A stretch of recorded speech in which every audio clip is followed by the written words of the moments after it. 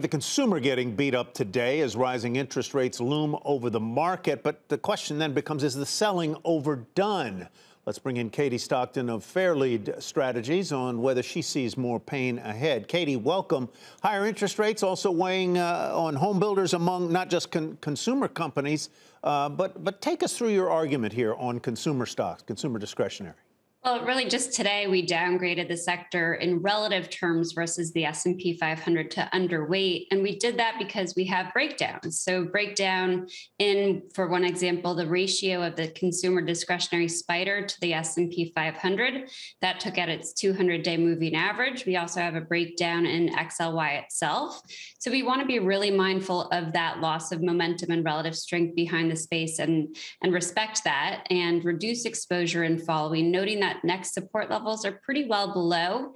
Amazon is probably the best example and really one of the biggest drags of late on the XLY and consumer discretionary sector more broadly. Amazon has a pretty major breakdown on its chart. If you look at something called the cloud model, it sounds kind of fancy, but it's just a gauge of support and resistance. And that support level was taken out for the first time since 2015. And it does increase risk of a deeper corrective phase. It doesn't mean it has to happen tomorrow or next week, but it does support downside follow through there. And as you mentioned, also the home builders have been under pressure. We do think yields will work their way higher with a targeted level of about 213 based on the breakout that seems to be underway. The home builders are reacting with a pullback, and that pullback reflects a loss of momentum. If you look at an ETF like ITB, it's really the first, we call it a MACD sell signal. So the histogram has fallen into negative territory pretty deeply, and that reflects a meaningful loss of intermediate term momentum, albeit still within the long term uptrend. Why is this happening, Katie? What, what, what is your hunch? I mean, it's a, a, very real shift in market sentiment and, and, probably not accidentally related to the start of a new year. Uh, the major indices are really under pressure, and that's coming alongside weakness from the mega caps. If the mega caps like Apple falling below its 50 day moving average today, that, that makes it very hard for the major indices to work higher. So you get a little bit of that fear instilled in the marketplace, and folks are less willing to hold on to their winners. They want to sort right. of penalize those winners by taking some profits. All right, Katie, thanks very much. Katie Stockton of Fairlead uh, Strategies, founder, uh, with us tonight. Appreciate it. Let's trade this one, uh, Karen. If we, I thought the consumer was in pretty good shape. I thought balance sheets were good, jobs are good. Um, they've got more wealth. Their houses are worth more. Their 401ks are worth more. Why wouldn't consumer stocks be holding up a little mm -hmm. better?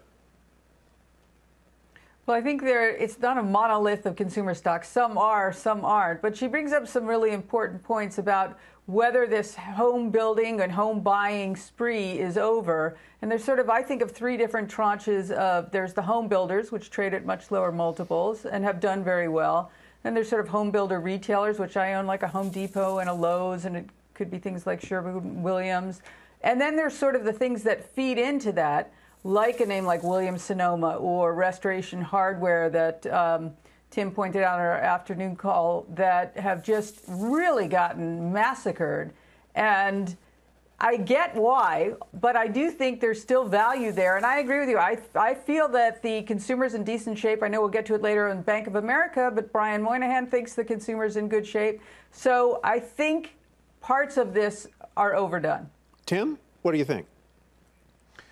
Well, you know, go, go to the earnings we heard today, Procter & Gamble, Fastenal. Um, it, you know, they're talking about the, the labor and inflation pressures across the board and where they're passing it on. In fact, they both were kind of almost, uh, you know, pretty pretty cocky that they're passing it on. I thought. Um, but I, you know, you look at look at a Nike, look at a Lululemon, look at a Starbucks. Uh, you know, again, and Katie pointed out some of the charts and the breakdowns and why you have to respect those charts. And and, and again, those those three stocks are as oversold um, as they've been on an RSI basis, which is again a, a, a limited look at, at short-term momentum. But again, we haven't seen this kind of velocity of down moves in these stocks. Starbucks down 17% in the last 11 sessions, and meanwhile, um, the numbers we got on December uh, in terms of comps and, and reacceleration is that uh, they were up probably 10 to 15 percent. Um, I think with Nike, we know that story there. With Lululemon, this is a story that now at this point, you know, after you've pulled the stock back, it's it's trading somewhere around, you know, it's gonna this is gonna do you know, 10, 10, 50 a share, depending on who you ask. So we're trading inside of 30, probably 27 times